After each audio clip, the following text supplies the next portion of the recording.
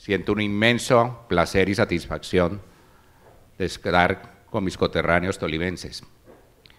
Y quiero arrancar esta charla, primero que todo, por supuesto, dándole mis más sinceros agradecimientos a la Universidad de Ibagué y a todo el equipo organizador de este evento, porque eh, situaciones como esta permiten no solamente reflexionar, sino soñar. Y es que muchas de las realizaciones en el mundo se hacen justamente a partir de sueños, sueños que finalmente terminan siendo realidad. ¿Por qué quiero tanto al Tolima? Eh, voy a hacer un, breve comentario al respecto porque muy seguramente mm, la mayoría de ustedes no lo sabe.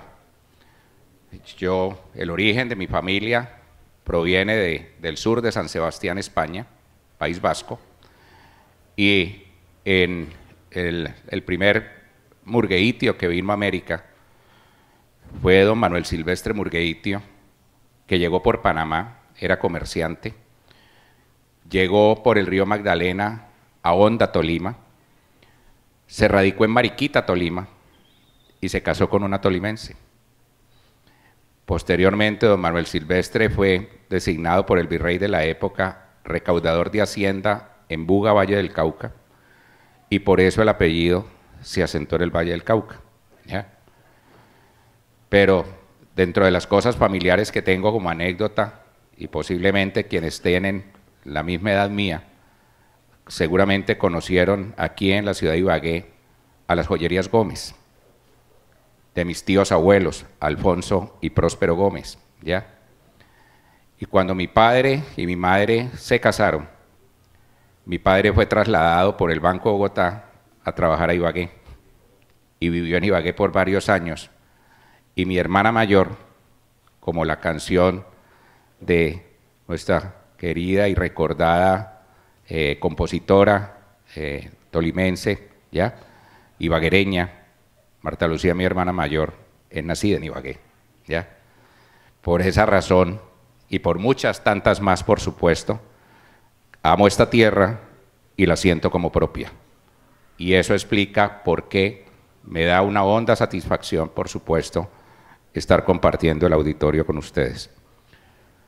En segundo lugar, quiero expresarles con toda sinceridad que lo que tengo en mi mente compartir con ustedes no tiene un objetivo distinto que el de contribuir, en ningún momento confrontar. No soy persona que, que, me mueva en esos campos, no me interesa, pero por supuesto, soy firme en la defensa de los argumentos pero también tengo la mente absolutamente abierta para entender que si los argumentos de las demás personas son fuertes y evidentes, por supuesto que también los acepto, ¿ya?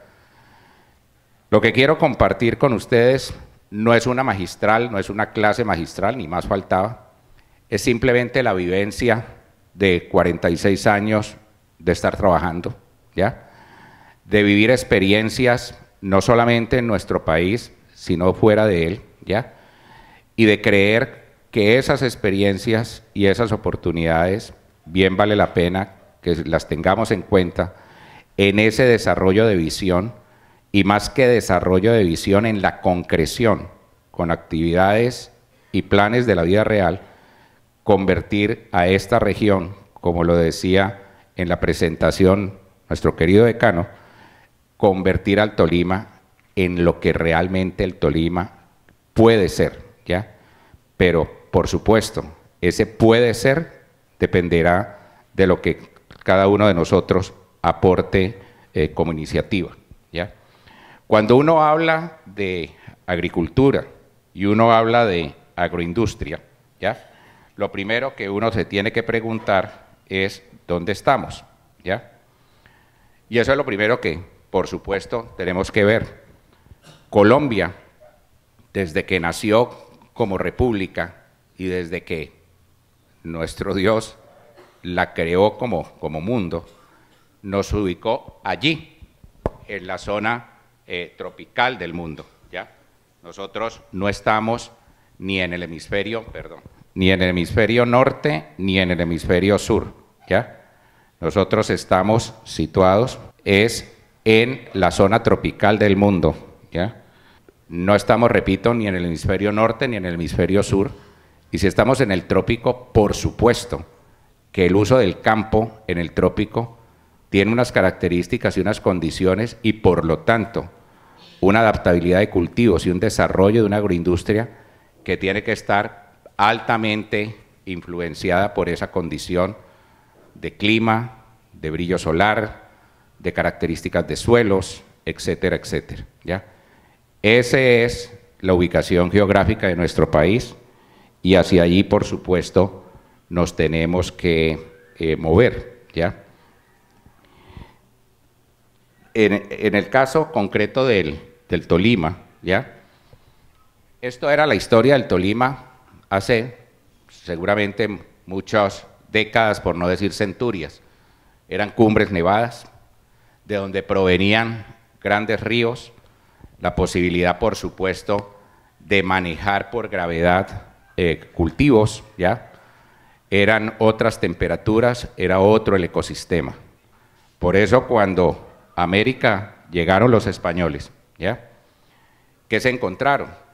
Una fertilidad de suelos donde por supuesto se podían manejar cultivos tropicales y ahí es donde, comillas, en el Tolima surgió la caña, surgió el tabaco, que fue bien importante en el caso de poblaciones como el, como el norte de, del Tolima, Ambalema concretamente, eh, Tolima y la región norte del país, del departamento, fue una de las tres regiones más importantes tabacaleras de nuestro país por allá en los siglos XVIII y XIX, ¿ya?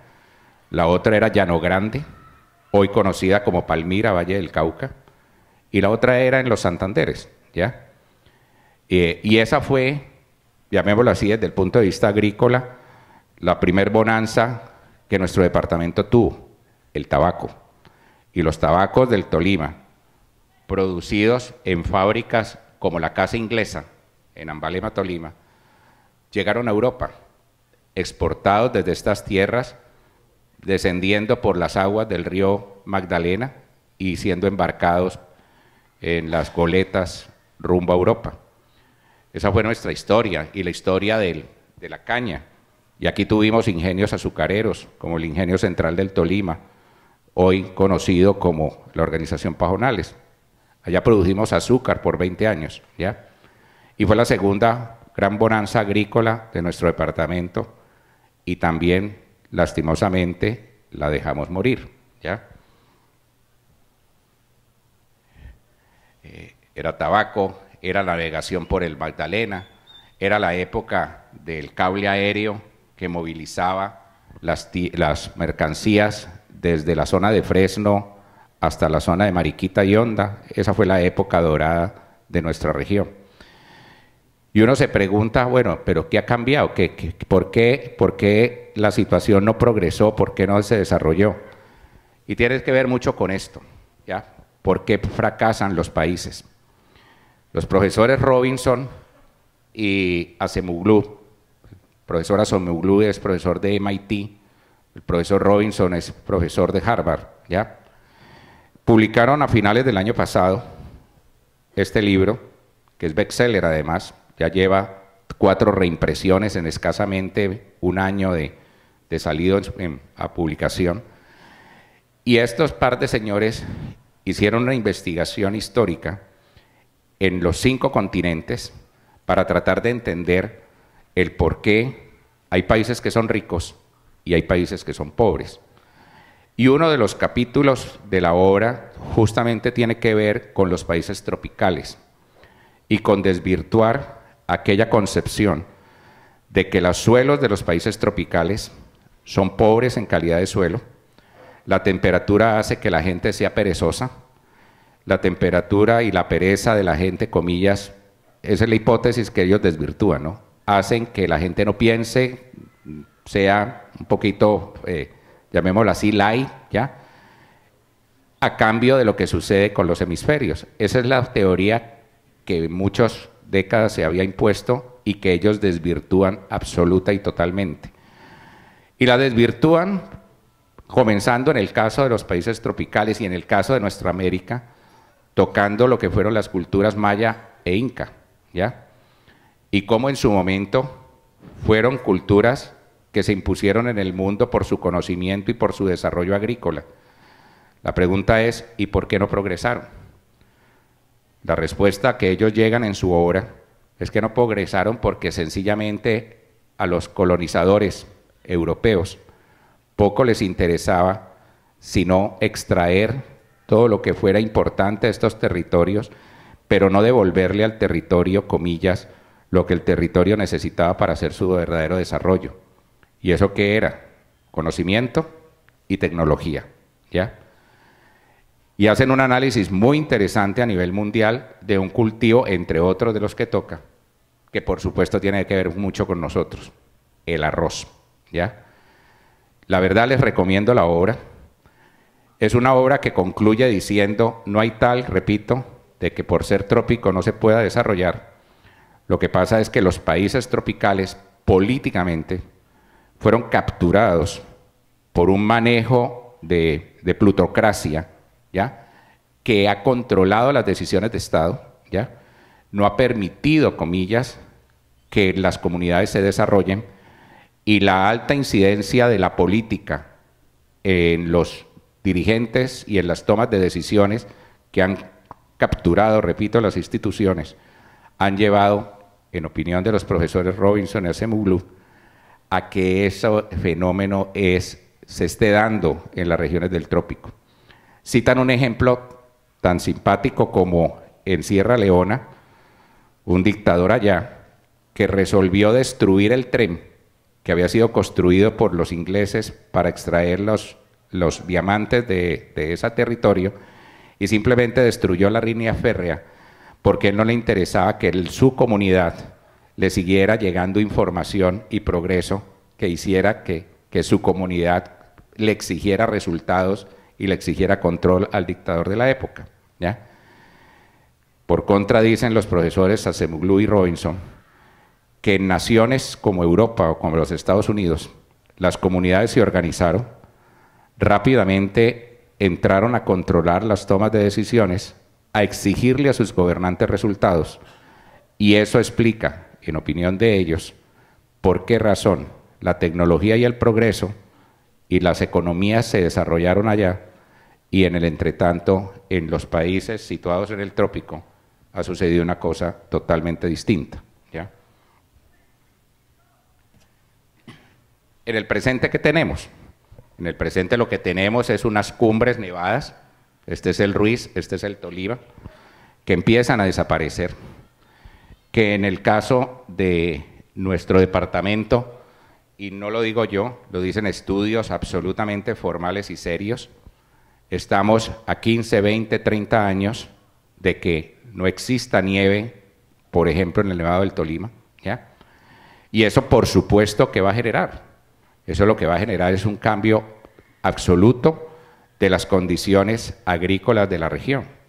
Es que si en algo nuestro departamento ha sido privilegiado, es tener fuentes hídricas que se manejan por gravedad. Una agricultura que manejamos por gravedad sin ACPM, sin diésel, sin energía, ¿ya? Por eso nos damos el gusto y el lujo, más que el gusto, de desbaratar el recurso hídrico. Por eso seguimos estableciendo cultivos con riego eh, corrido de 2.5 litros segundo hectárea. Eso no creo, como van las cosas, que vaya a poder seguir siendo igual de eficaz en el futuro. ¿ya? Entonces, parte del problema es, por supuesto, cómo logramos conservar lo que hoy tenemos todavía no perdido, cómo recuperamos nuestras cuencas hidrográficas, cómo defendemos nuestros colchones de agua en las cordilleras, ¿ya? Pero por supuesto, cómo podemos reconvertir la agricultura de nuestra región a algo que permita, comillas, que se pueda manejar y manejar con eficiencia.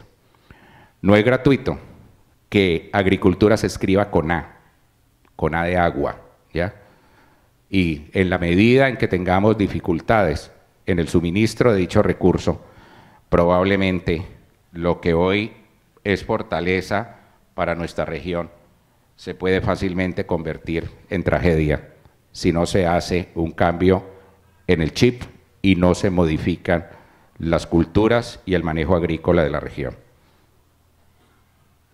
Les quiero citar este ejemplo, y es que esto no solamente está pasando en nuestro departamento, también me pasa en el Bichada, donde hoy estoy profesional y laboralmente vinculado y empresarialmente vinculado. Esta es la laguna de la 14. La laguna de la 14 es el origen de este río, que es el río Tuparro. El río Tuparro es el que da el nombre al Parque Nacional del Tuparro, que son 548 mil hectáreas de bosque natural, reserva natural, que está situado al oriente del departamento de Vichada eh, y enmarcado por los ríos Orinoco, frontera con la República Bolivariana de Venezuela, por el río Tuparro y por el río Tomo. ¿ya? Esta laguna es de sabana, nace en los potreros y se alimenta de los morichales. Esta foto la tomé hace dos años haciendo un sobrevuelo en la región. Esta foto la tomé la semana pasada en el mismo lugar. No hay laguna. Por supuesto uno se dirá, bueno, lo que pasa es que estamos saliendo de una de las temporadas de estiaje más fuertes que hemos tenido en la artillería colombiana, evidentemente. Ha sido cuatro meses de sequía intensa, ya empezaron las lluvias, pero la realidad del cambio climático y lo que está pasando, no solamente es aquí en el Tolima, no solamente es acá en el Bichada, con este ejemplo, es mundial, ¿ya? Y por supuesto es algo que nos tiene que concitar la atención y la preocupación para ver cómo nuestras prácticas culturales las vamos cambiando. Hoy el Tolima, desde el punto de vista agrícola, ¿qué es? ¿Ya? Es arroz, intensamente sigue siendo arroz. Es una ganadería que por supuesto ha progresado, pero que tiene todo un campo de acción para poder seguir ganando en espacios, me referiré un poco más adelante en ello, ¿ya? Algodón, con preocupación lo veo, ¿ya? En nuestro caso, ya muy pocas hectáreas de algodón se establecen, y es café que sigue manejándose en ladera, y yo soy de los que pienso que el café hay que bajarlo de piso, ¿ya? Creo que el café tiene que tener un proceso de reconversión hasta donde sea mecanizable, a pisos térmicos mucho más bajos que la simple ladera montaña que hoy se usa, ¿ya?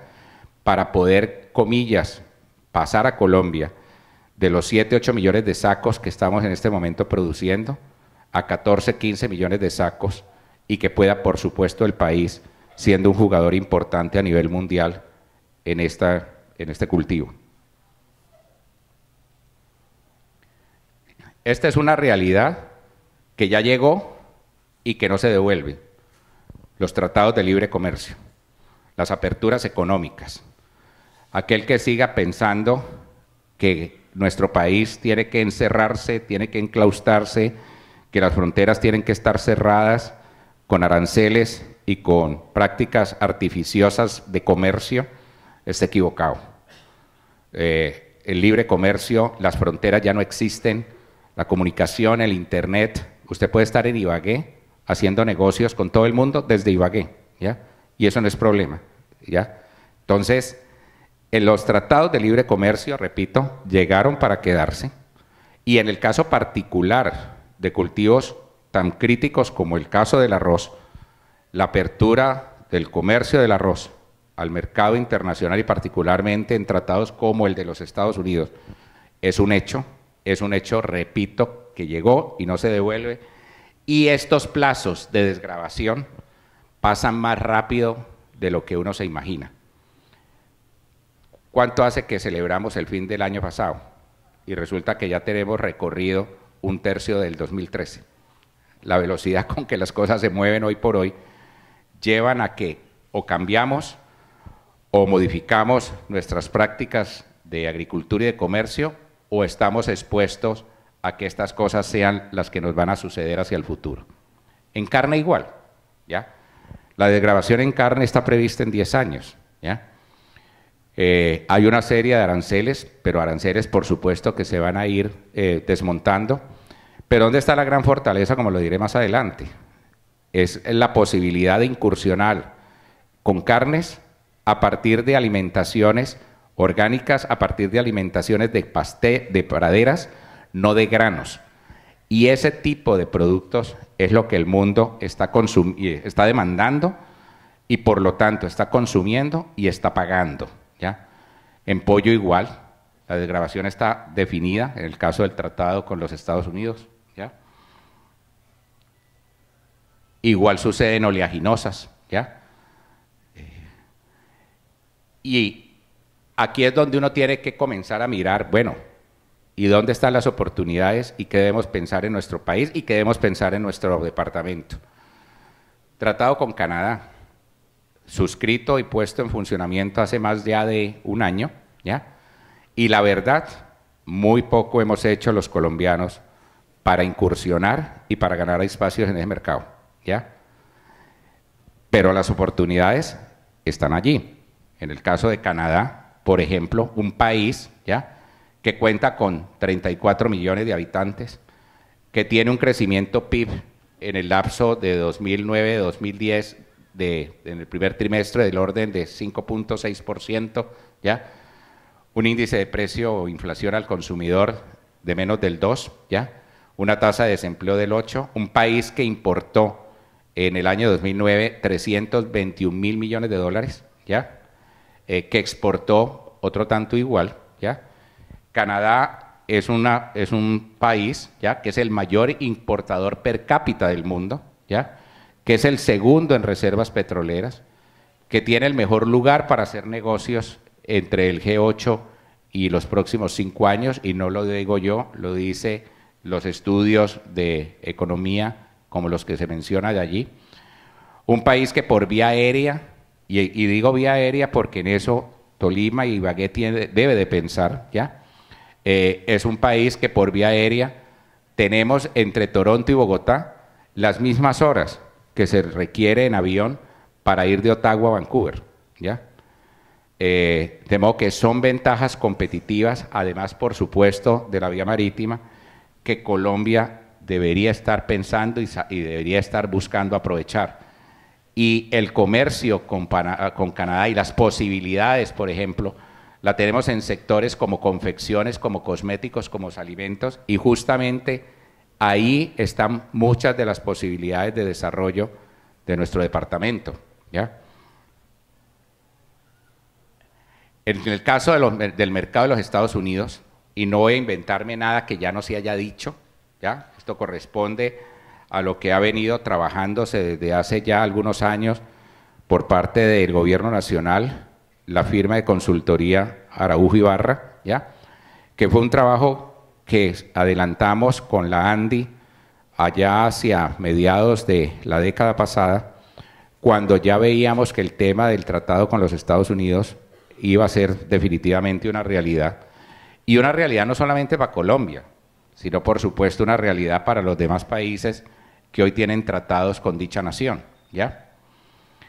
Eh, en el año 2005, cuando se hizo este trabajo, y lo traigo no porque, porque quiera reciclar una cifra, no es porque sigue siendo evidente que es así. Y en el año 2005 nos lo advirtieron y nos lo dijeron. ¿ya? ¿Dónde están las oportunidades para nuestro país y dónde en el caso concreto de nuestra región podemos concentrar nuestra fuerza?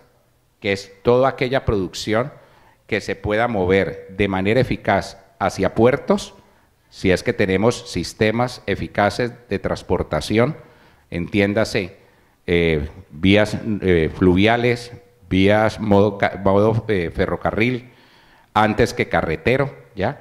O que se pueda mover aéreamente desde acá mismo. La mitad del país no tiene troncales, esta es una realidad, lo sabemos todos que es así y por, supuesto es una de las grandes limitantes que tiene Colombia para poderse enquistar de manera eficaz en el mercado mundial. Eh, por supuesto, la población de Colombia no es la población de Bolivia, pero en términos de indicadores, Bolivia tiene un mejor indicador de kilómetros por habitante que el que tiene Colombia, para citar un ejemplo. Y la mitad de nuestro país, la mitad de Colombia, que es el oriente, desde Arauca hasta el Amazonas, la tenemos totalmente desconectada y es la mitad del país y la hemos abandonado. incluso a título anecdótico, porque tiene mucho que ver con nuestro departamento. En 200 y pico de años de vida republicana, el primer presidente de Colombia en ejercicio, que fue Albichada y que aterrizó en Puerto Carreño, ¿ya? Eso sucedió el 17 de febrero de 1936. Se necesitó de más de 100 años de vida republicana para que un presidente en ejercicio fuera a conocer parte de Colombia. Ese presidente fue Alfonso López Pumarejo. ¿ya? Aunque tarde, pero tuvo la visión de ir por lo menos a conocer qué, qué, era esa otra Colombia que tenemos allá. ¿ya? Ibagué está de Barranquilla, por carretera, 991 kilómetros, y por Buenaventura, 315. Y eso, por supuesto, ya empieza a generar unos indicadores y unas condiciones para poder hacer un manejo eficaz. ¿ya? Ibagué no está en las costas. Ibagué es una ciudad mediterránea, ¿ya? y por lo tanto el desarrollo de lo que pensemos acá debe ser producciones con altísimo valor agregado y producciones que se puedan manejar de manera eficaz. Ahora que les muestre un ejemplo en China, se van a dar cuenta cuando digo de manera eficaz, qué es lo que China ha, concebido y está desarrollando en ese sentido. ¿ya? Ibagué, Ibagué está de Bogotá a 202 kilómetros, principal mercado del país. Más del 40-45% de la producción en Colombia se comercializa y se consume en Bogotá. Y es, por supuesto, la ciudad que tiene la mayor capacidad de compra. ¿ya? Ibagué está de Cali a 266 kilómetros y de Medellín en 415. Y son, por supuesto, los tres principales mercados eh, locales. Ese hecho de estar donde estamos, por supuesto, nos genera unos, lo que, ya, lo que llaman aranceles técnicos o geográficos, y por lo tanto, mover un kilo de carga desde acá a los puertos pues tiene un valor totalmente distinto de aquel que puede valer cuando tenemos la producción al lado de los puertos. El gran volumen, como lo vimos atrás, en el caso del mercado de los Estados Unidos, se mueve por medio naviero, marítimo, ¿ya? Entonces, estar donde estamos, repito, nos genera unas limitantes, ¿ya? que nos tiene que poner a pensar en que el desarrollo de la agroindustria y el desarrollo de los productos deben, deben permitir poder llegar a puerto, si es que vamos a mover por puerto, de manera eficaz. ¿ya?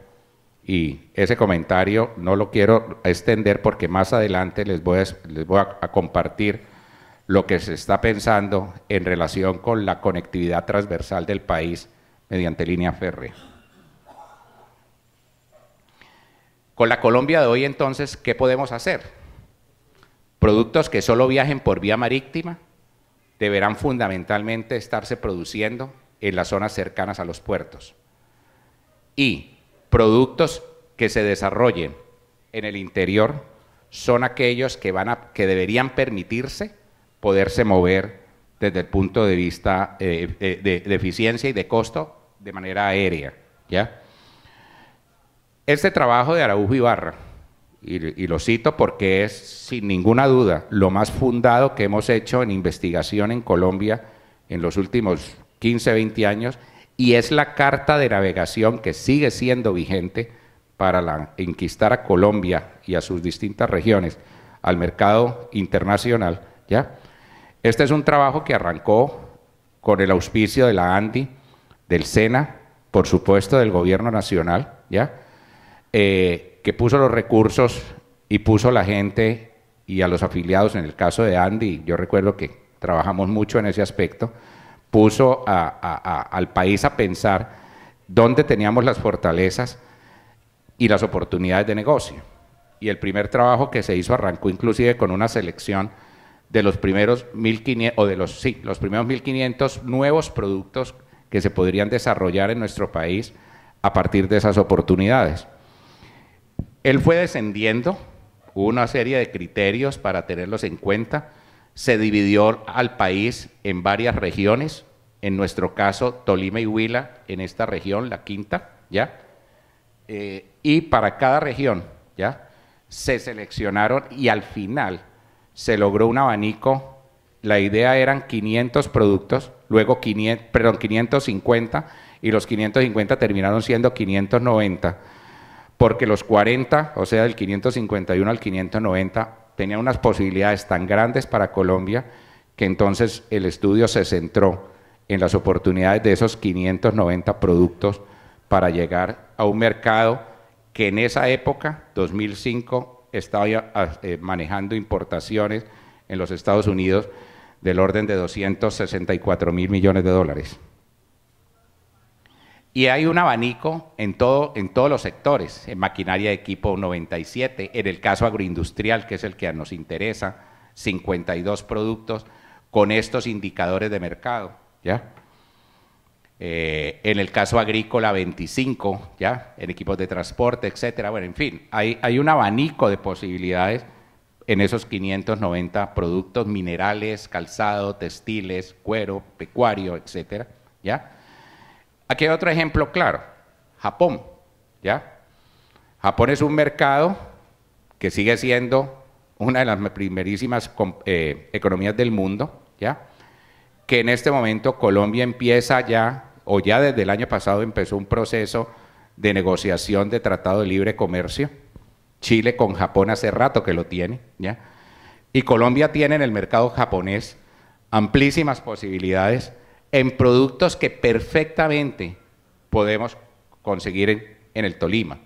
Todo lo que es pulpas de frutas, productos orgánicos, mercado vegetales congelados, en azúcar, por supuesto, en carnes frescas y procesadas, sobre todo de origen eh, de carne, eh, pasturas, no granos, en frutas procesadas, en el tema de mascotas, en el tema ambiental eh, y de cultivos de eh, de, trópico como el caucho natural, como el biodiesel a partir del aceite de palma, etcétera, en el mercado de minerales para uso industrial, el carbón coquizable, o sea, hay un abanico de posibilidades para Colombia con Japón, ahí están enunciados varios de esos, de esos productos, ¿ya?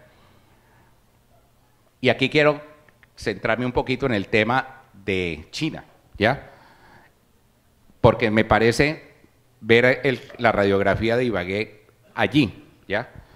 Cuando eh, la revolución cultural de China, ¿ya? De Mao Zedong, tomó la decisión de inquistarse en el mercado mundial, los chinos de manera muy inteligente resolvieron nuestras ciudades de, costa como Guangzhou, como eh, Xiamen, como Shanghai, ¿ya? deben ser las ciudades que debemos de desarrollar en productos de alto volumen, de alto peso, ¿ya? que se puedan producir al índice del puerto, de tal manera que los, los factores de costo de fletes no sea propiamente lo que eh, eh, fuera el impedimento para China poder procesar y poder exportar. Pero por contra, ciudades como Xi'an, ¿ya? que distan de puerto más de 2.000, 2.500 kilómetros, por supuesto no podían competir con, esa, con ese abanico de posibilidades como si la tienen las ciudades costeras. Y en China resolvieron, por ejemplo, que Xi'an fuera un gran centro tecnológico de logística, de diseño de software, ¿ya? Tema en el cual en el Tolima, por supuesto, estamos pensando de tal manera que pudieran ser productos de un altísimo valor agregado, con muy poco peso, con muy poco volumen, y que pudieran salir desde Xi'an en un avión y en 7, 8 horas estuvieran aterrizados en París o en Londres. ¿ya? Y los chinos planificaron la ciudad de Xi'an como un, como un Silicon Valley. Y uno va a Xi'an, como hemos he tenido oportunidad en un par de ocasiones de verlo, es una ciudad donde hay más de 150 instituciones formativas, educativas, a todo nivel, a nivel tecnológico, a nivel profesional, a nivel de maestría. Es una ciudad que se ha desarrollado en puros parques tecnológicos de software, de hardware y todo lo que tenga que ver con ello, ¿ya? Y exportan toda su producción vía aérea desde Siam, ¿ya? Y son todo un éxito, ¿ya? De las universidades de Xi'an egresan en promedio año alrededor de mil PhD única y exclusivamente formados en temas de tecnología, en temas de, de hardware y de software. ¿Ya?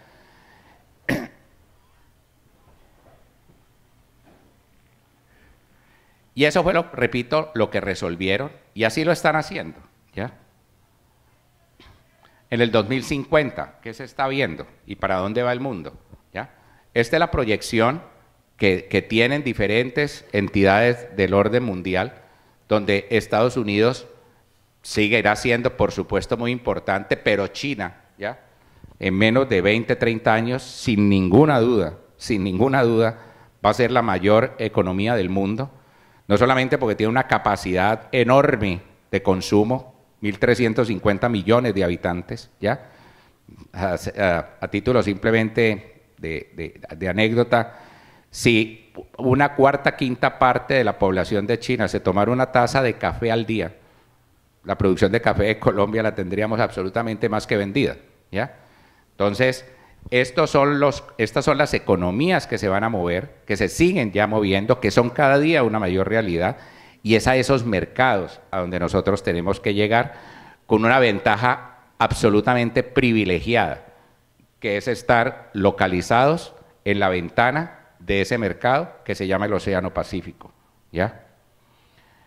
China tiene posibilidades en azúcar, en banano, en café, en resinas, en flores, por supuesto en carbón coquizable, ¿ya? Que le interesa sin ninguna duda a Japón, a China, etcétera. Entonces, ¿cuál va a ser el futuro? El futuro del comercio, el futuro de los negocios, se va a tener que mover en condiciones de esta naturaleza, en modos férreos para salir a puertos, en modos navieros, por supuesto, de alto cabotaje, que permita que los grandes Panamax como barcos con, 10, 12, 15 mil containers, como se ya hoy por hoy se mueven en el mundo, puedan moverse en los puertos colombianos. Y por supuesto eso demanda que haya una inversión, que haya un ingreso de, inversión, de IDE, inversión extranjera, que el puertos como el de Buenaventura lo profundicemos aún más el canal de acceso, que hoy es un canal de 12, 13 metros, empuja a, una mayor capacidad de calado para que esas grandes embarcaciones que hoy mueven el comercio mundial puedan llegar a nuestros, a nuestros puertos y salgan pues con nuestras mercancías. Pero esto es lo que va a suceder, ¿ya? Ya de suyo está sucediendo. Ya pensar en que podemos ser eficaces yendo desde Bogotá o desde Ibagué con una tractomula de 25 toneladas pasando el túnel de la línea, si algún día lo vemos, ¿ya? Eh, y digo si algún día no vemos, porque ayer veía con preocupación que volvieron a cerrar por temas ambientales la construcción del túnel. Eh, yo tengo la esperanza de estar vivo para poder pasar por ahí. Por supuesto, muchos de los presentes tienen la absoluta seguridad que van a poder pasar por ahí. ¿ya? Pero es que este ritmo, eh, una cosa pues que, que, que, que se ha vuelto absolutamente traumática y que es absolutamente definitoria para el progreso y el enquistamiento de la economía colombiana en el mercado mundial, no hay derecho que siga dando palos de ciego. No lo digo yo, lo dice The Economics, en un artículo que publicó hace escasamente tres semanas, ¿ya? Entre las 20 economías más importantes del mundo, Colombia tendrá el sexto mejor crecimiento en los próximos cinco años, ¿ya? Eh, con una tasa promedia de 4.6%, ¿ya? Eh, después de China, India, Nigeria, Vietnam e Indonesia. A nivel latinoamericano, sobresale sin ninguna duda por ser la mayor economía de la región, de las cuatro en expansión. Cuenta con, el mayor gran número, con, un gran número de habitantes y sobre todo de gente jóvenes como ustedes, los que muchos están aquí presentes, porque van a ser los consumidores de hoy y del futuro, ¿ya? Los que ya estamos en, cercanos a la tercera edad, probablemente seguiremos teniendo dificultades para manejar un computador o una tablet, ¿ya? Pero ustedes, muchos de los que están aquí, nacieron aprendidos con ello, como dice el dicho, y van a ser los consumidores de hoy y del futuro, ¿ya? Este sí que es un tema interesante y en el cual Colombia tiene que fijarse y fijarse con, mucho énfasis, la Alianza Pacífico, ¿ya? Lo que está sucediendo en las economías de estas cuatro naciones, y de pronto inclusive es muy probable que Panamá ingrese, ¿ya? Como quinta nación de la alianza. Lo que está sucediendo es esto, ¿ya? Es que los cuatro países sumados en población, en manejo de su economía, ya hoy estamos muy cerca de Brasil, ¿ya? Y recordemos que Brasil es la séptima economía del mundo, ¿ya? Estamos, estamos eh, con un crecimiento, ¿ya? Que está permitiendo un PIB consolidado que al cierre del año pasado fue de 2.044 millardos de dólares, ¿ya?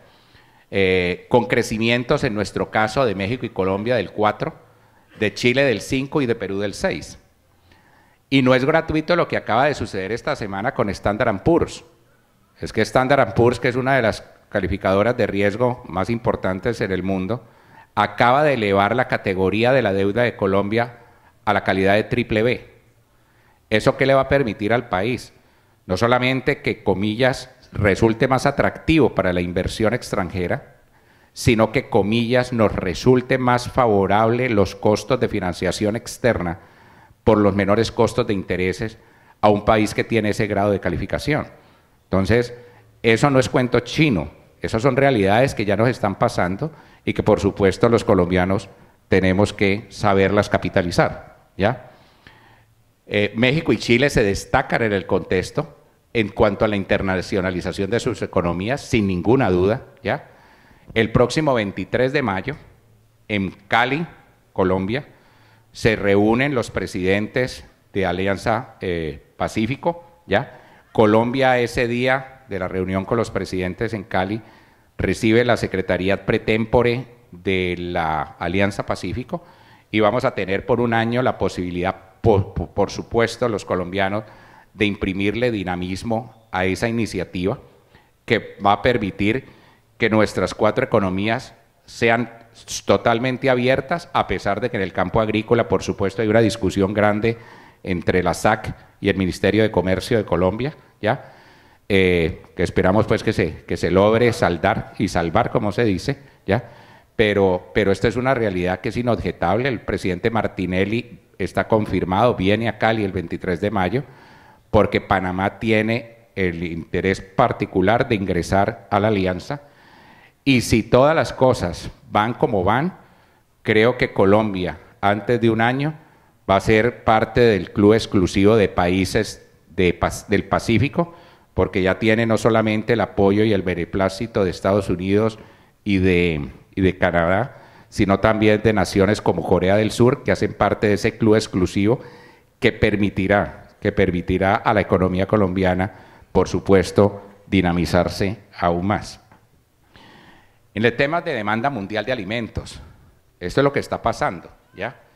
Los crecimientos que se vienen dando en consumos de huevos, cereales, carne, etcétera, leche y demás, esta realidad es inobjetable y esa realidad de cómo alimentar la población mundial, 9 mil millones de habitantes que se esperan al año 2050, esa realidad está aquí, los países que pueden contribuir y que tienen la capacidad, porque tienen la tierra, porque tienen el agua, porque tienen el brillo solar, elementos fundamentales de una agricultura moderna y eficaz, están aquí. A nivel de continente americano, Colombia, por supuesto, Argentina, Bolivia y Brasil. A nivel de nuestro continente africano, Angola, Congo, Sudán. No es gratuito que grandes inversiones mundiales se están realizando en África ¿ya? No solamente porque ha habido adquisición de tierra, sino porque se está invirtiendo agrícolamente allá. El continente africano históricamente ha sido un continente conflictivo en términos políticos, pero las realidades mundiales de la necesidad y el comercio, sin ninguna duda, van a potenciar al continente africano y va a, y va a entrar a ser un jugador importante en la producción y en la oferta de alimentos a nivel mundial para atender los requerimientos de esos 9 mil millones de habitantes que están proyectados hacia el 2050. Y la, y la agricultura y la ganadería se van a tener que integrar. Y los conceptos de producción de silvopastoril, conservación de suelos, pero al propio tiempo generación de, de, proteína, de proteína animal, por supuesto, es lo que se va a caracterizar. Y esto va a ser las demandas del futuro, ¿ya? eh, frutas, eh, hortalizas, ¿ya? eso es lo que, lo que se, va, se, se, está consumiendo y se va a seguir consumiendo en el mundo, ¿ya? Y el gobierno nos lo ha venido cantando y nos lo dijo desde el año 2006. Pero como dice el proverbio, a veces no hay peor ciego que el que no quiere ver. Esto que nos decía el Ministerio de, Agricultura y Desarrollo Rural en el 2006 como apuesta exportadora de Colombia sigue siendo absolutamente vigente siete años después. La pregunta es, en estos siete años, ¿qué tanto hemos hecho o cuánto tiempo y oportunidades hemos dejado pasar de largo? ¿Ya? En la estrategia exportadora eh, del gobierno, eh, la diversificación de la oferta y el acceso a nuevos mercados es una condición. Consolidar las ventajas logradas con la apertura comercial es otra condición. Focalizar los instrumentos de política agropecuaria para promover esos nuevos productos que tengan vocación exportadora. ¿ya? La selección de productos, por supuesto, la priorización de regiones, la definición de metas por hectáreas, ¿ya? la definición de instrumentos de política, eso sigue absolutamente vigente como metodología y como productos priorizados, los cultivos de tardío rendimiento, palma, cacao, caucho natural, frutas, hortalizas como las que están mencionadas ahí, forestales, carne bovina y lácteos, acuicultura, etcétera. Esas son las demandas, esos son los productos que el mercado mundial está requiriendo. Y si ustedes ven ese abanico en todos esos temas, posibilidades Colombia tiene y por supuesto nuestro departamento con mayor razón. En el tema de carne bovina y de lácteos, la política establecida por el gobierno y sobre la cual se está trabajando es poder pasar de 0.65 animales hectárea a 1.30 eh, animales por hectárea en promedio, ¿ya? Es esas 20 pico, 26, 27 millones de hectáreas que hoy están dedicadas a la ganadería extensiva, a que se concentre de manera eficaz por inversión en pasturas, por mejores genéticas, por inseminación artificial, etcétera, para liberar tierra que permita, por supuesto, desarrollar los otros planes de forestación o de agricultura misma. En el tema de acuacultura, el país tiene unas posibilidades muy interesantes y el mercado mundial los está demandando en este tipo de productos, ¿ya? En el tema de cafés especiales, ahí sí que podemos, ahí sí que podemos en nuestro departamento poder hacer mucho en ese aspecto, ¿ya? Eh, Nariño, ¿ya? Y Huila hoy están no solamente como los mayores productores de café, ya no es Antioquia, ya no es el viejo Caldas, por supuesto no somos nosotros acá en el Tolima, los mayores productores hoy de café en Colombia están en Nariño y están en, el Huila, ¿ya? ¿Pero por qué? Porque es que ellos hicieron dos cosas muy inteligentes. La primera, ellos no redujeron de manera significativa el área sembrada de café. No, no, no solamente la conservaron, sino que la han crecido un poco. Pero la segunda es que especializaron su caficultura y se dedicaron a la producción de cafés especiales, ¿ya? con mercados externos como compradores. ¿ya? Y hoy los mejores cafés suaves eh, que se comercializan en el mundo están justamente en ese par de departamentos. En etanol de caña, ¿ya? Eh, por supuesto, y en biocombustibles, tema donde mi querido colega y amigo Amílcar Acosta nos va a hablar ahora, ahí sí que Colombia tiene unas posibilidades enormes de incursionar en esos mercados de biocombustibles, sin que eso signifique para nada afectar la frontera agrícola para, para, para alimentos, para nada. Están definidos los instrumentos de política, ¿ya? Y si todo eso que he mencionado atrás es la visión oficial, entonces la pregunta que nos tenemos que formular, no solamente en este auditorio, sino en todas partes, es, bueno, ¿y en qué debemos pensar entonces? ¿Qué es lo que tenemos que hacer? hacia dónde es que nos tenemos que mover. ¿Ya? Mantener cultivos tradicionales en áreas eficientes y mientras éstas sean competitivas. ¿Ya? Eh, creo que es un error garrafal seguir pensando en ocupar grandes extensiones de tierra simplemente para mantener cultivos que no son rentables, que el, el hecho de poder estar es producto de una falsa protección que no va a ser posible mantener en el tiempo y mucho menos, como ya lo mencioné, con tratados de libre comercio totalmente establecidos. Es definir nuevas actividades bajo criterios de exportación empresariales, o sea, que tengan masa crítica. En ningún momento se está diciendo para nada que la agricultura o la pequeña agricultura se vaya a acabar. No, yo creo que ese debate hace rato que debimos de haberle pasado la página a ello. Yo creo que la agricultura de pancoger, la, la agricultura de pequeña escala, por supuesto que debe prevalecer, pero con un destino muy definido, que es el destino del consumo local, y la gran agricultura, la agricultura empresarial, la que se puede desarrollar con tecnología y en extensiones importantes, es la agricultura llamada a jugar papel fundamental en el comercio mundial. ¿ya? De modo que ese debate de que Colombia en lo agrícola tiene que seguir siendo campesino y no más, me parece que es un debate que ya, comillas, eh, la página está pasada. ¿ya? Eh, a título nomás de ejemplo, el caucho natural o la palma de aceite en Malasia. ¿Quién es el dueño de la tierra en Malasia? El Estado. El Estado es el que concesiona 50, 100 años la tierra. ¿Y quiénes son los grandes cultivadores de la palma y del caucho natural en Malasia? Pequeñas cooperativas.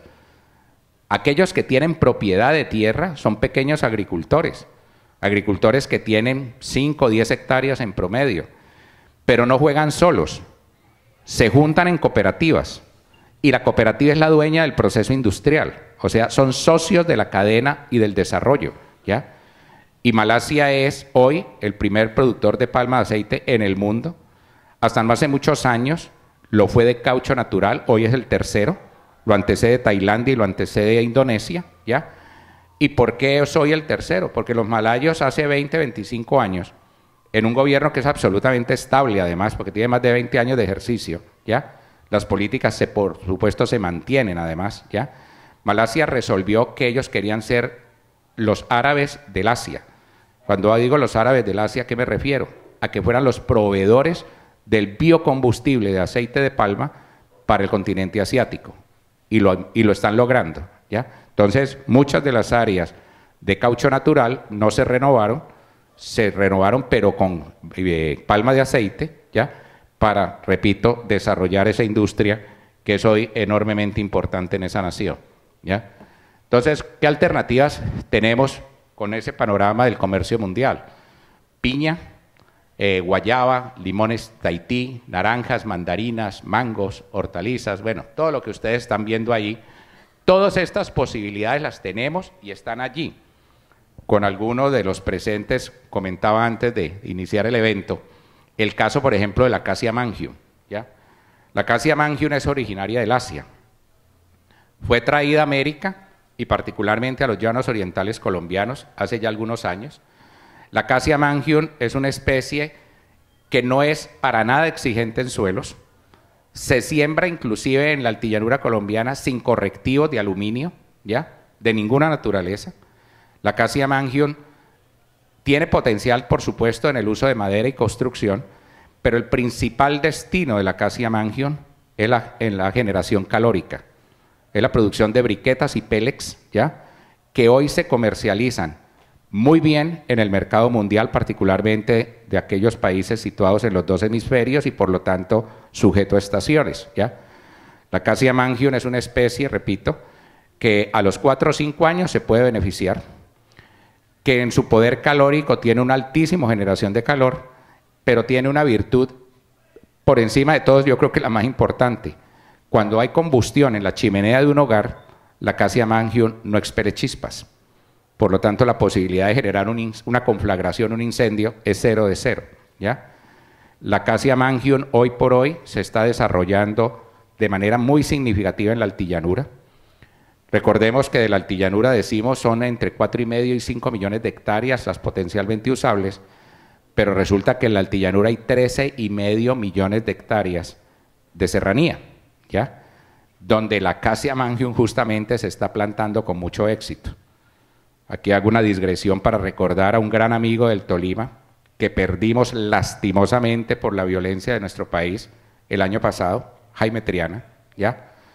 Si me quito el sombrero de lo que le aprendí a Jaime y me quito el sombrero de lo que Jaime hizo por posicionar la altillanura colombiana en el lugar que hoy tiene y del cual todo mundo habla, ¿ya?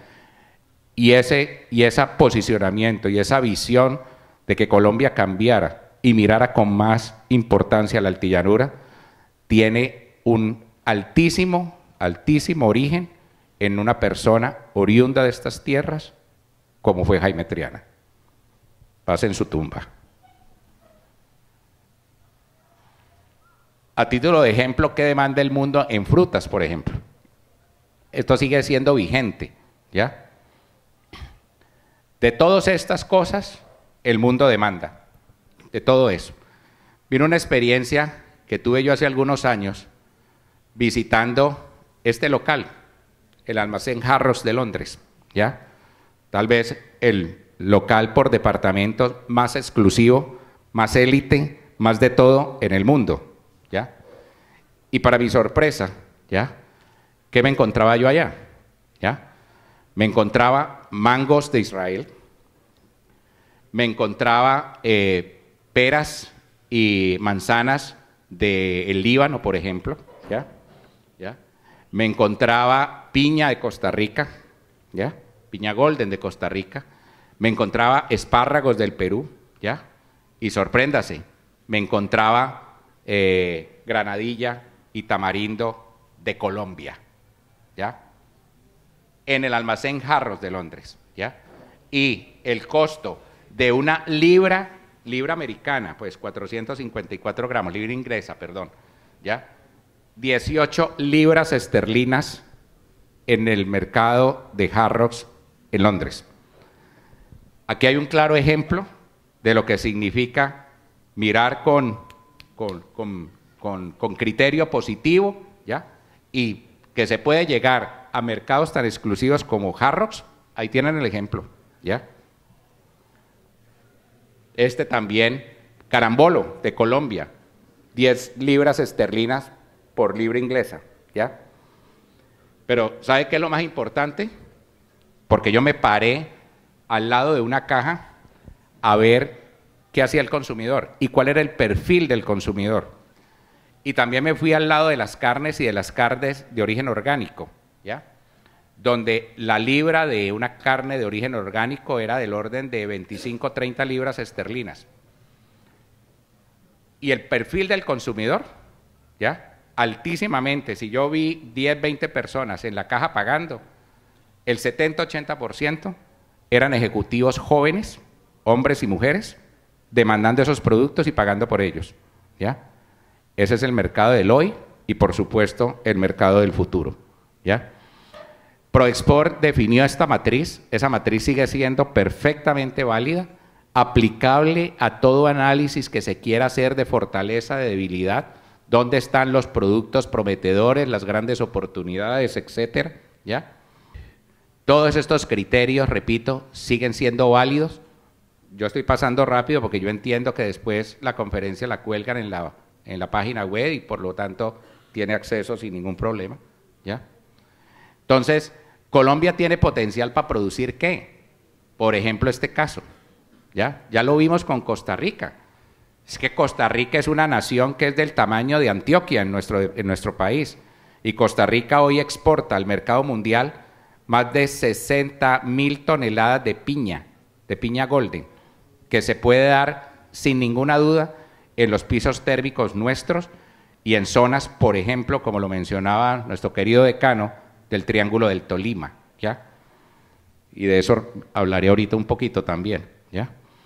Pero también hay caucho natural, Colombia tiene, como ya lo mencionaba, por su condición tropical, tiene una inmensa posibilidad de estar allí. De suyo lo estamos haciendo. Cuando yo estaba presidiendo una organización local de, gran eh, eh, enquistamiento en nuestro departamento como Pajonales, ¿ya? de las cosas que me correspondió a mí hacer fue arrancar el tema del caucho, revivir la historia de la Casa Arana, pero sin matar indígenas, por supuesto, ¿ya? Eh, huitotos, ¿ya? Y poner el caucho como un cultivo de trascendencia y con un cultivo de objetivo mundial. Por esas cosas de la vida, ¿ya? pensando otra vez en quienes nos conquistaron, ¿ya? O nos usurparon según la visión cósmica con que lo queramos ver, ¿ya? Los ingleses y los franceses, hace 300, 200 y pico de años, conocieron del caucho, ¿ya? Y conocieron del caucho porque vieron los indígenas del Amazonas jugando con una cosa, como una especie de pelota, y cuando le preguntaron, ¿y eso qué es? Le dijeron, eso lo extraemos de ahí, de ese árbol. Y ellos de manera inteligente cogieron las semillas, los llevaron a sus laboratorios y a sus invernaderos en Londres y en París, y las primeras plantaciones de caucho salieron de París y de Londres y se establecieron en Sri Lanka. Y estoy hablándote de años 1820, 1830. Hoy, de los 10 millones de hectáreas que hay sembradas de caucho en el mundo, el 94% está es en el Asia. Solamente el, 4, el 6% está entre África y América Latina. Y en el caso particular de América Latina, solamente en tres países, de pronto un cuarto, aunque es muy pequeño, que es Ecuador, pero el primero es Brasil, que está llegando ya a 200 mil hectáreas plantadas, siendo el originario el caucho de Brasil y de la Amazonía colombiana. Sorpréndase, Guatemala, Guatemala es el segundo país en área de siembra de caucho en América, 72 mil hectáreas. El tercero es Colombia, que venía muy rezagado, que hoy tiene sembradas alrededor de 45 mil hectáreas. Y el último es Ecuador, que tiene escasamente 5 mil hectáreas. Pero ningún país en el continente americano, desde Alaska hasta la Patagonia, somos autosuficientes en caucho. Todos, sin excepción, dependemos de la importación. ¿ya? Importación que cada día va a ser más difícil, que cada día va a ser más costosa. ¿Por qué? Porque la industria automotriz, que es la consumidora del 78% del caucho en el mundo, está en el Asia, no en Europa ni en América. Por lo tanto, esos cauchos cada día van a llegar menos acá. Y eso explica por qué razón en los últimos escasos tres años el precio internacional de la tonelada de caucho puesto puerto en, en el Asia se ha multiplicado por tres. Pasó de, 90 y, de 950, 980 dólares a valer hoy casi 4 mil dólares la tonelada, ni siquiera por 3, por 4, ¿ya? Y esa tendencia no va a cambiar, ¿ya? Entonces, en el Asia, las posibilidades de que la industria del caucho crezca, del sector cauchero crezca son cero de cero, porque ya no hay tierra para poder sembrar más. Por lo tanto, las posibilidades del caucho en el mundo van a estar o en África o en el continente americano y en el continente americano solamente en dos países, Brasil y Colombia. Y cito un ejemplo adicional. Los Estados Unidos y Canadá, países con los cuales tenemos tratado de libre comercio, consolidados los dos, son el 18% del consumo mundial de caucho, 1.800.000 toneladas por año, ¿ya? Y la totalidad de ese 1.800.000 provienen del Asia. Si Colombia como país fijara una estrategia de cultivo en donde dijera, yo quiero, comillas, ser la fuente de abastecimiento primordial de Canadá y de los Estados Unidos en caucho natural, ¿sabe cuántas hectáreas de caucho tendríamos que sembrar en Colombia? 900 mil. Y hoy tenemos 42 mil. Y sabe con esas 900 mil hectáreas de caucho natural, si llegáramos a sembrarlas, ¿Cuánto empleo generamos? Hagan la cuenta que es fácil. Cada siete hectáreas de caucho demandan un empleo permanente. Y un empleo bien remunerado y un empleo absolutamente estable, porque la persona que ingresa a trabajar en una plantación de caucho se pensiona en ella. El caucho tiene seis y medio años de fase improductiva y 35 años produciendo, total 40 y 40 es tanto casi como decir dos generaciones, ¿ya? Entonces, esas son las cosas y esas son las dinámicas y esas son las fortalezas que Colombia tiene y les quiero contar algo. Tolima no lo veo exceptuado para el cultivo del caucho. El caucho natural tiene potencialidades en el Tolima, lo que pasa es que hay que saberlo ubicar, ¿ya? Pero que tiene posibilidades, por supuesto que las tiene, ¿ya? Y la altillanura, pues, ni se diga, porque allá es natural y donde va a crecer y donde está creciendo el cultivo del caucho, por supuesto, es allá. En palma de aceite, lo propio, ¿ya? El mercado mundial de palma de aceite eh, está muy influenciado, por supuesto, con el tema de consumo humano, pero también con el tema de biocombustibles.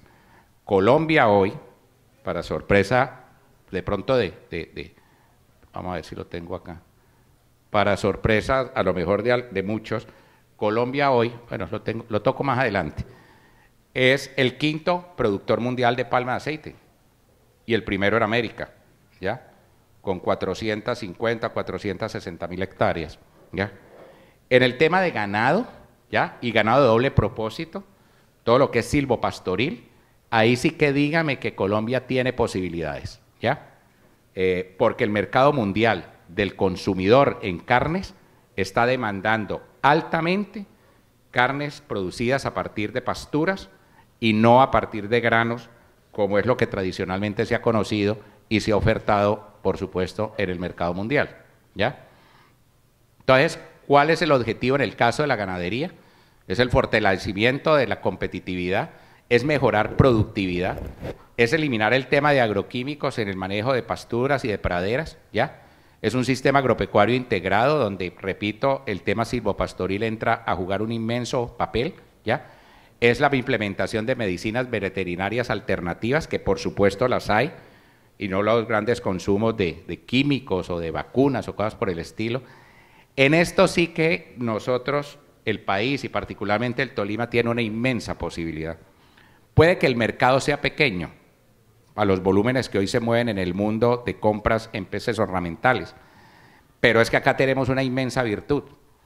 Las dos cuencas por excelencia importantes en la producción de peces ornamentales por naturaleza son la cuenca del Orinoco y Amazonas, por supuesto, y la cuenca del río Magdalena.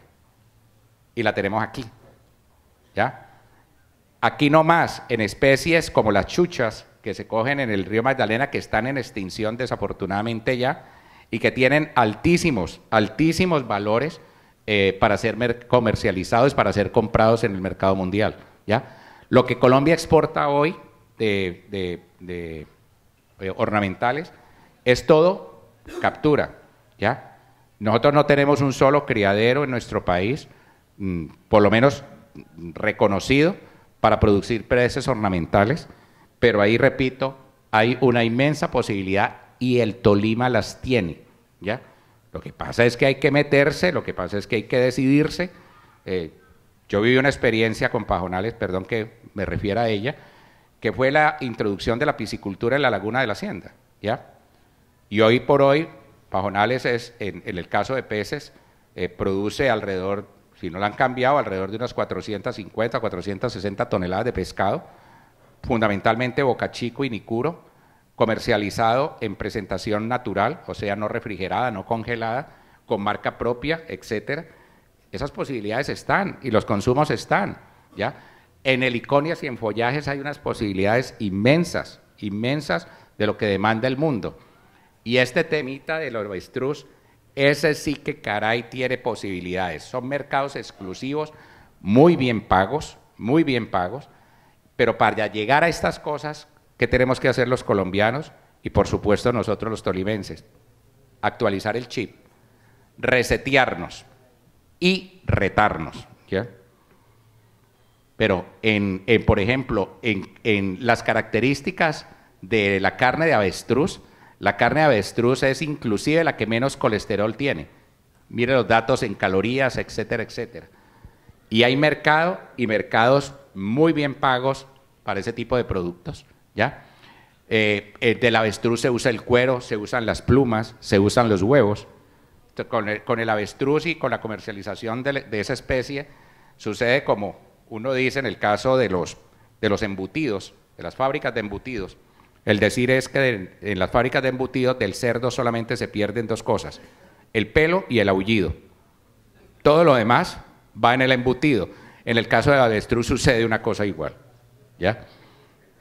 En fauna silvestre, aquí tenemos posibilidades de producir esto, babillas, con destino a la exportación, ¿ya?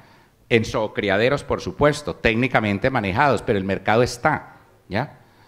Y si uno tiene el producto en su presentación básica, ¿qué viene después detrás de eso? El desarrollo, la comercialización, el diseño, la producción de carteras, cinturones, etcétera. Eso es lo que el mercado paga. Nancy González, coterránea mía del Valle del Cauca, es una de, las principalísimas diseñadoras y productoras de, calzado, de, de, carteras, etcétera. Nancy González se da el lujo hoy de tener boutique propia en la Quinta Avenida de Nueva York. Sus productos no los comercializa en Colombia, los vende afuera, con un altísimo valor, ¿ya? O sea, esas cosas están, existen, no son cuentos de irreales, ¿ya? ¿Qué otras potencialidades tenemos? Ají. El ají es un cultivo que se produce en nuestro medio, en el Tolima. Eh, es un mercado que está creciendo de manera significativa. Eh, los consumidores, el paladar del consumidor cada día está habituándose más a usar como complemento en sus comidas distintas presentaciones de ají. Y alguna razón tendrá que haber, alguna razón tendrá que haber, pero por ejemplo, en el caso de la población mexicana, los menores índices ¿ya? de enfermedades gastrointestinales están en México, ¿ya? A nivel mundial. Algo tiene que ver el ají con ello para que eh, de ese tema del omeprazol y compañía los mexicanos no sufran, ¿ya? Eh, incluso en el caso de ají, ¿ya? Y vuelvo al tema del ají, en el caso de ají se acaba de dar una negociación por parte del grupo Colombina, acaba de comprar Amazon, pero no Amazon la, la, dealer de, de ventas, sino Amazon la marca, ¿ya? Porque por supuesto Colombina quiere incursionar mucho más fuerte en el mercado internacional de las distintas presentaciones y salsas a partir de ají. ¿ya? Stevia. Stevia es un cultivo que lo tenemos en el Tolima, ¿ya? Que no lo hemos crecido, pero que el mercado está, está, ¿ya? La uva Isabela. La palma de aceite. Algunos dirán, ¿pero se puede producir palma de aceite en el Tolima? La respuesta es sí, ¿ya? Sí. ¿Qué necesita? Por supuesto, la palma de aceite para producirse en el Tolima de manera eficaz, irrigación. Y podría decirse, bueno, pero un momentico, ¿cómo así? Si los nevados están acabando, si las almas, ¿qué es lo que va a pasar? Por favor, no nos olvidemos que después del Amazonas, el principal río del país se llama el Magdalena. Y lo tenemos surcando todo el departamento, de sur a norte. Y la ingeniería en el uso de las aguas en el mundo, eso está inventado, ¿ya? De modo que si algo podemos hacer aquí en el Tolima, es ver cómo podemos usar las aguas de un río como el Magdalena de manera productiva, sin que eso, por supuesto, afecte el medio ambiente, el ecosistema, todo lo contrario. Si zonas del departamento se establecieran un cultivo como la palma o como caucho, ¿ya? ¿Qué es lo que vamos a lograr en el departamento del Tolima? La generación de un ecosistema, un ecosistema que atrae lluvia, que conserva, por supuesto, humedades y que son cultivos que son captadores de, CO2 del ambiente y por lo tanto son cultivos verdes, ¿ya? Pero esas posibilidades están. Entonces uno dirá, no, pero un momentico, ¿cómo así que vamos a usar aguas del Magdalena, pero con el ACPM qué hacemos? Pero por favor, el Magdalena tiene pendiente. Si no, no discurriría. ¿Ya? La zona sur del Tolima tiene más altura que Ambalema u Honda. ¿Ya? Entonces, ¿cuántas obras de canalización en el mundo se han hecho usando la gravedad y armando canales de riego a partir del cual se irrigan los cultivos. ¿ya? Entonces, son cosas que podrá decirse, bueno, pero es que este es un prestidigitador diciendo, boba, no, eso existe en el mundo. La tecnología existe en el mundo. En Europa son genios, o en el Asia son genios manejando las aguas de los ríos. Si algo necesitan las empresas europeas en este momento es buscar mercados afuera.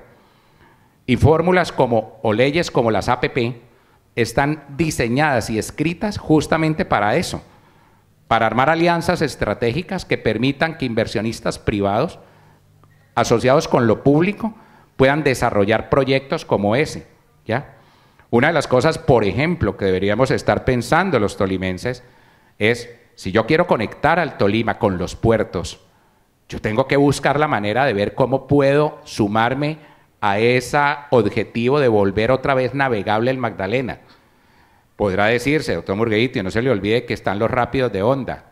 Así, pero es que para eso está el manejo de las esclusas. Es sino ver qué desarrollos se han hecho en Europa en el río Rin, para ver cómo los alemanes y el centro de Europa sale a puertos como Rotterdam o como Hamburgo, ¿ya? Porque precisamente cogieron los ríos, los canalizaron y comillas los pusieron al servicio de este tipo de empresas, ¿ya? Entonces, acá en el Tolima tenemos que pensar en cosas como esas, porque esas posibilidades, repito, están, son evidentes. Y ahí sí que dígame Dios que podríamos lograr ventajas competitivas importantes si podemos usar recursos como el río y la navegabilidad del río y llegar a la costa atlántica, a los puestos del Atlántico, a través del río Magdalena. La Palma ya lo mencioné. Colombia es hoy el cuarto, quinto productor mundial de palma, ¿ya? Eh, en la zona oriental del país se concita y se concentra el 44% de la palma, ¿ya? Pero el gran futuro y la gran potencialidad que tiene la palma es justamente la de incursionar en los mercados de Europa, ¿ya? En temas como el palmista o en temas como el aceite de palma o el biodiesel, ¿ya? Y esas posibilidades están. Y en el Tolima, que se puede sembrar palma, sí, yo creo que se puede sembrar palma porque tiene las condiciones de luminosidad, porque tiene, por supuesto, las condiciones de suelo y porque se puede hacer un manejo eficaz del agua para buscar la irrigación que permita suplir lo que la naturaleza desde el cielo no nos da. Pero que hay posibilidades, claro que las hay. Dos ejemplos claros de diversificación y se los quiero compartir ambos con empresas del Valle del Cauca. Hacienda Manantial. Hacienda Manantial es un proyecto que se está desarrollando de 500 hectáreas de piña para exportación en el municipio de Florida, Valle del Cauca. ¿Y sabe quién es el dueño de ese proyecto? Los ingenios Río Paila y Castilla. Una plantación de caña para etanol. Desde el año pasado, Río Paila Castilla llevó a Santa Rosalía Bichada materiales genéticos de 700 variedades distintas de caña en plántulas que las están ya monitoreando con el objetivo de caña para etanol. Y un tercer objetivo, macroproyecto de ellos, es la producción de carne a partir de pasturas mejoradas con destino a exportación a través del río Meta y luego del Orinoco para los mercados de Europa. Con respecto a eso último, ya tienen la base genética montada, ya tienen las Mm, la base de hembras pastando en el bichada, la toretada también ya está allá, ¿ya? O sea, eh, esta gente, ¿ya? Son un claro ejemplo de que, comillas, no necesitaron pensar que su desarrollo tenía que ser allí, al Indes de Palmira o de Cali, no, trascendieron el departamento. Y eso mismo lo podemos hacer nosotros también acá. El desarrollo agroempresarial del Tolima no solamente, en mi opinión, se limita a pensar en las tierras del Tolima. Por supuesto que es el primer objetivo y la primera necesidad. Pero es que si algo tiene caracterizado el pueblo tolimense es que ha sido emprendedor y emprendedor fuera de su frontera. El arroz llegó a otras zonas del país por tolimenses. El arroz llegó a mi departamento del Valle del Cauca porque fue gente del Tolima que fue a sembrar a Ginebra, a Tuluá, a Buga, arroz. El arroz llegó al Cesar o llegó a los llanos orientales por el impulso de los tolimenses. Y hoy hay ilustres tolimenses vinculados a la altillanura. Casos el Grupo La Serna, casos Felitomás Arango, casos Sibila de Garcés, casos Gonzalo Sarmiento, allá están. Allá están sembrando caucho, allá están haciendo ganadería, ¿ya? Allá están sembrando árboles, ¿ya? O sea, mi invitación es a que la mente tenemos que ponerla a volar, ponerla a trabajar y ver que las oportunidades están también en otras partes. Estas son las primeras 50 hectáreas ya sembradas de Río Paila Castilla en la hacienda Mandúa. Y este caso sí que es lindo, ¿ya?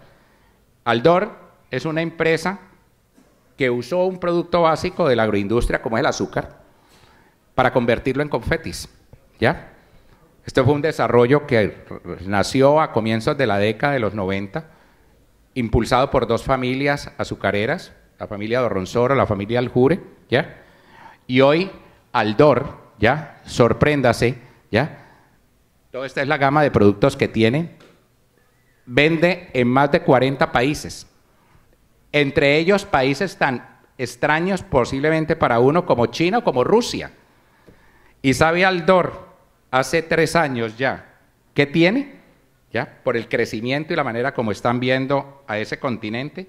Tiene planta propia de producción, en Johannesburgo, Sudáfrica. Inversión colombiana con planta propia en África. ¿Para qué? Para incursionar en todo este mercado del continente africano. Porque África, vuelvo y lo repito, con lo que está sucediendo allá, con la inversión, el IDE, inversión extranjera que está llegando allá, las plantaciones, todo el proceso agroempresarial que se está haciendo en África, va a ser como continente un continente importante jugando, ¿ya? Y nosotros estamos allí, al INDES. ¿Qué necesitamos? Necesitamos salir al Atlántico venezolano. Y ahora les contaré en qué estamos pensando y qué se está haciendo para llegar a África, llegar a ese mercado. Pero ahí tienen dos ejemplos de diversificación agrícola que posiblemente hasta no hace muchos años uno diría, un azucarero que va a salir del azúcar y de la caña. Pues mírenlos, mírenlos produciendo otras cosas. Bueno, hablar del Tolima y de su potencial, pues yo creo que es un tema que ya lo conocemos bastante, que no me quiero dilatar en ello, ya, porque ahí está la información y la hemos hablado en diferentes ocasiones, ya. Los principales productos dentro de esos 590, ¿dónde están? ¿Cuáles son los potenciales? ¿Cuáles son los mercados? ¿En qué productos agrícolas estamos hablando? Espárragos, raíces de mandioca yuca, lima tahití, frutas frescas, etcétera en calzado, en abrigos, en ropa para bebés, confecciones, faldas, etcétera. ¿ya? Ahí están los productos, ahí están las oportunidades. Y me quiero concentrar un poquito en esto. ¿ya? Este es un proyecto, un megaproyecto, que lo arrancamos eh, en el Valle del Cauca hace ya casi cuatro años, con el Comité Intergremial del Valle, y fue ponernos a soñar, oiga, ¿y cómo unimos la altillanura colombiana con el Pacífico colombiano? ¿ya? Eh, y ese es el origen de este programa, un proyecto que busca y pretende la construcción de una línea férrea, aquí tenemos a Colombia, aquí tenemos a Venezuela, la construcción de una línea férrea que permita conectar a Buenaventura con Ciudad Bolívar y con Puerto Ordaz, ¿ya? Y el día que lo logremos, tenemos sencillamente un canal interoceánico terrestre, ¿ya? Alterno, ¿para qué? para llegar a la costa este del continente americano, tener el mercado de Brasil a dos horas en cabotaje desde acá, o llegar a Europa, o llegar al África, por poner ejemplos, ¿ya? Y este es el proyecto. Un proyecto que está concebido en dos fases.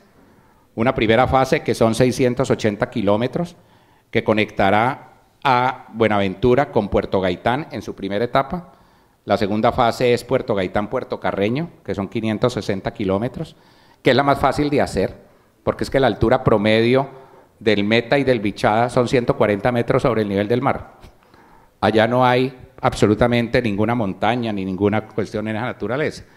En este objetivo, que es un objetivo de un tren de torocha ancha, nos hemos juntado los cinco departamentos, Meta, Bichada, eh, aquí me falta Bichada, Tolima, Huila, Valle del Cauca, ¿ya? Con cuatro puertos secos situados, uno en Palmira, otro en el sector de La Palmita, en Natagaima, otro en Villavicencio y finalmente el otro, no sé por qué no está saliendo en la imagen porque aquí lo tengo, el otro en, Puerto Gaitán, ¿ya? Y que lo que busca precisamente es impactar de esta manera, ¿ya? Eh, en estas zonas, repito, del país, el cruce de la cordillera central, el cruce de la cordillera oriental, ¿ya? Eh, llegar a estas regiones, ¿ya? Es una APP, una APP donde el sector privado y concretamente y muy probablemente el gobierno de China concesión esta obra de suyo, ya la han visitado el proyecto, han estado recorriendo la zona en un par de ocasiones, gente de la empresa china de ferrocarriles, ¿ya? Eh, y eh, lo que busca es movilizar cargas de carbón eh, hacia Buenaventura, cargas de alimentos, cargas de petróleo, etcétera, ¿ya? Este es el recorrido, ¿ya? Y este es los niveles de altura en los cuales el tren atraviesa. Esta es la cordillera occidental, esta es la cordillera oriental, ¿ya? Eh, por túneles, ¿ya? Ya lo mencioné, cuatro puertos secos, el puerto seco de Villavicencio, ¿pensando en qué? Pensando en Bogotá, en la entrada y salida de mercancías de Bogotá hacia puerto, ¿ya? Eh, el pasado 12 de diciembre, el proyecto fue presentado a la Agencia Nacional de Infraestructura, Ya la ANI respondió hace un poco más de un mes eh, dos cosas a nuestro juicio muy importantes. La primera que dijo, este es un proyecto de interés nacional, es un proyecto del país, ¿ya? Y la segunda que pidió fue que profundizáramos el tema de la, de la carga movilizar, ¿ya? Pero para que ustedes eh, tengan una idea, en los indicadores de ANI, cada millón, cada billón de pesos de inversión demanda garantizar una carga anual a mover de 5 millones de toneladas, ¿ya? Y 5 millones de toneladas es equivalente de 100 mil barriles de petróleo que se movilicen. Y resulta que en el departamento del Meta, Casanare y el que comienza ya a incursionar, que es Bichada, producimos el 65% del petróleo del país. O sea, el millón de barriles diarios de petróleo, 650 mil barriles diarios se están produciendo en esa región de Colombia. ¿ya? Eh, y finalmente quiero cerrar mi charla con este tema. ¿Ya? Chile, un ejemplo a seguir. ¿sí? Un ejemplo a seguir, ¿por qué? ¿Ya? Porque Chile desde hace ya varias décadas definió una política país, que fue una rebaja unilateral de aranceles, una participación de Chile en la organización del de mercado y unas negociaciones comerciales bilaterales. Y esa política, ¿qué lo llevó? A que hoy Chile es el principal país, el país número uno en tratados de libre comercio en todo el mundo, ¿ya? Y tiene tratados de libre comercio con todos estos países y otros que vienen en, en gestación en este momento, ¿ya? Y en la estructura de pensamiento de Chile, el principalísimo, todos estos fueron importantes, pero el principalísimo fue atraer inversión extranjera porque por supuesto eran conscientes que con su propia plata no iban a poder hacer esta conversión, ¿ya?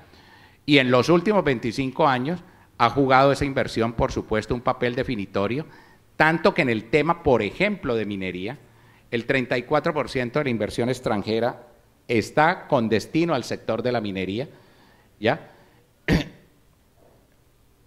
Y hoy, por ejemplo, Chile es un país que después de varias décadas de funcionar, es el país número 16 como exportador de alimentos y bebidas en el mundo.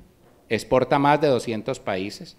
Las exportaciones de, alimentos y de industria forestal fueron del orden de 18.300 millones en el 2011, ¿ya? Son el mayor exportador mundial, por ejemplo, de arándanos, uva de mesa, ciruelas, etcétera, el segundo en todos estos productos, ¿ya? Chile es un país que hoy puede decir con orgullo que 17 millones disfrutan una copa de vino chileno o que 1.7 millones comen fruta chilena congelada, ¿ya? Pero la pregunta es, oiga, ¿y ellos cómo hicieron eso? ¿Cómo lograron alcanzar los niveles que hoy tienen de productividad y de negocio internacional? Por esto, Codelca, Codelco, perdón, es la empresa chilena minera propietaria del cobre en Chile, ¿ya? Y hoy Codelco es el primer productor de cobre del mundo, ¿ya? Posee alrededor del 9% de las reservas mundiales y produjo en el año pasado 1.75 millones de toneladas, incluida la participación que tienen en asocio con Abra y Anglo American Sur, ¿ya? Y esta cifra es equivalente al 10% de la producción mundial de cobre, ¿ya? La corporación además pues participa en estas otras sociedades, ¿ya? Y Chile, sin ninguna duda, hoy es un actor mundial en eso. Pero una cosa importante que quiero mencionar, el cobre ha sido clave y lo sigue siendo para el desarrollo del país. Y Chile fue un país que hace más de 30, 40 años dio ese debate de, oiga, los recursos naturales, ¿los dejamos enterrados o los ponemos al servicio de la reconversión y el desarrollo del país? Y ese debate hace 30, 40 años en Chile se acabó, ¿ya? Y hoy en día Chile muestra las cosas que está mostrando en resultados. Por lo tanto, el cobre ha sido clave para el desarrollo, ¿ya? Es el principal aporte directo del cobre al desarrollo. Pero la parte importante de los chilenos, ¿ya? Es que ellos dijeron, ah, un momentico, los recursos de la explotación y la comercialización del cobre, que son recursos naturales, capital de recursos naturales, por supuesto no renovables, los tenemos que sembrar los tenemos que poner al servicio de la transformación económica de Chile, ¿ya? Y eso es lo que ellos han venido haciendo y lo han venido haciendo por décadas. Y ahí está el ejemplo. ¿Con eso qué quiero decir? Con eso lo que quiero decir es que Colombia tiene probadas en toda su geografía grandes recursos mineros y por supuesto eh, eh, eh, energéticos en temas de, petróleo y demás, ¿ya? Y por lo tanto Colombia puede jugar un papel fundamental en ese sentido. Los dos últimos slides son este par de reflexiones. Soren Kierkegaard, padre del existencialismo, en alguna de sus múltiples obras decía, la vida solo puede ser comprendida mirando para atrás, mas solo puede ser vivida si miramos para adelante. Mi invitación al auditorio, a mis coterráneos tolimenses, al país, es que con mentalidades así es que vamos a poder cambiar la suerte y el futuro de este país y de estas próximas y actuales generaciones. O Gregorio Marañón, médico y escritor español, vivir no es solo existir, sino existir y crear, saber gozar y sufrir, y no dormir sin soñar, descansar, o sea, quedarnos relajados, para decirlo de alguna manera, es de alguna forma empezar a morir. Muchísimas gracias a todos y disculpen por ello.